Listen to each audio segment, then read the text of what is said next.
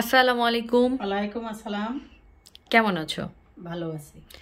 আজকে তুমি আমাদেরকে কি রান্না করে দেখাবে? আজকে আমি এক কেজি গরুর মাংস রান্না করে দেখাবো। আচ্ছা চলো আমরা রান্নাঘরে যাই। এসো।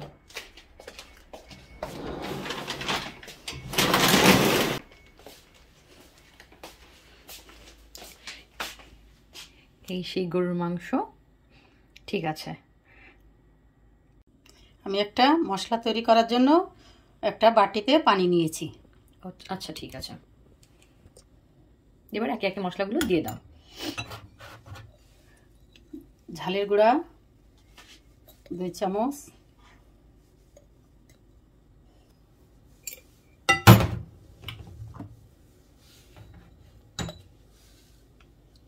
আদা গুঁড়া এক চামচ। জিরের গুঁড়া দেড় চামচ রসুন গুঁড়া এক চামচ।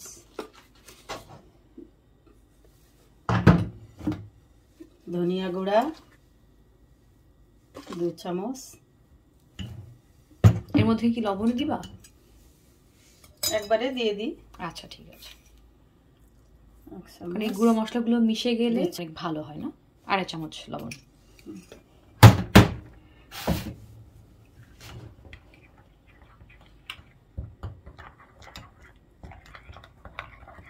আরও দিচ্ছি আলু তেলের পরে পেঁয়াজ তেজপাতা গোলমরিচ একটু জিরা দারচিনি সব ধরনের মশলা। সব ধরনের মশলা তেলের আচ্ছা। পরে দিব। আচ্ছা। হয়ে গেছে আমি তেল দিয়ে দিব।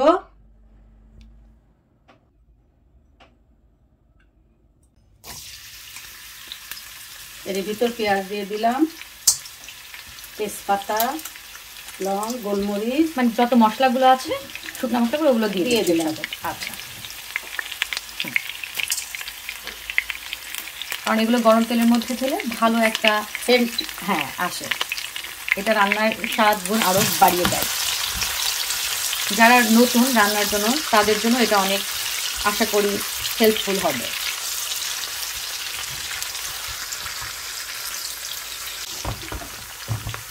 মোটামুটি ভাজা হয়ে গেলে এবারে এর ভিতরে আমি মাংসটা ঢেলে দিব।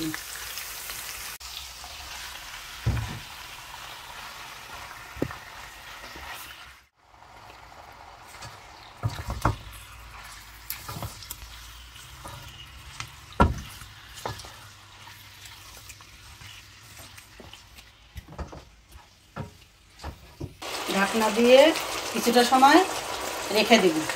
আচ্ছা। ঢাকনাটা আমি উঠিয়ে নিলাম। নিয়ে একটু নেড়ে চেড়ে মশলাটা দিয়ে দিলাম।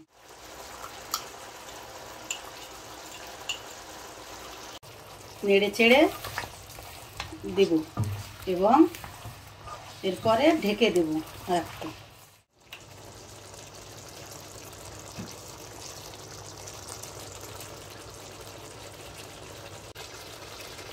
সামান্য একটু পানি দিয়ে দিলাম যাতে তলায় না লেগে যায়।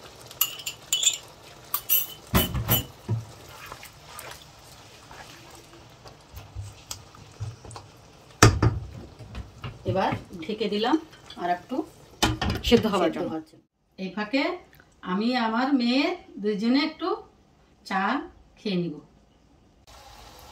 বলব। ঢাকনাটা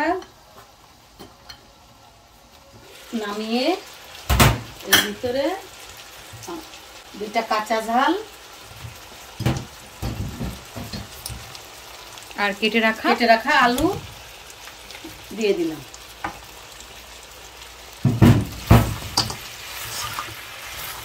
একটু নেড়ে চেড়ে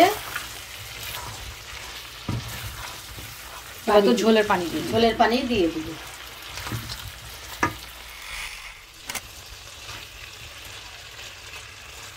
এবার এবার ঝোলের পানি দিয়ে দিব। দিব। এটা ঝোলের পানি হচ্ছে তাই তো? একটু লবণটা চেক করে দেখছি। আর একটু লবণ লাগবে।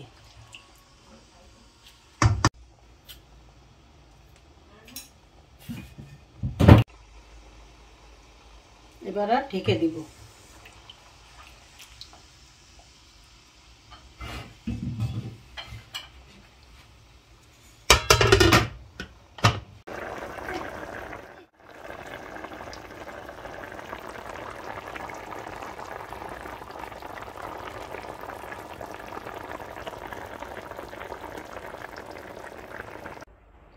মাংসের জাল হতে হতে আমি এই ফাঁকে আমার নাতনিকে নিয়ে খেলা করছি।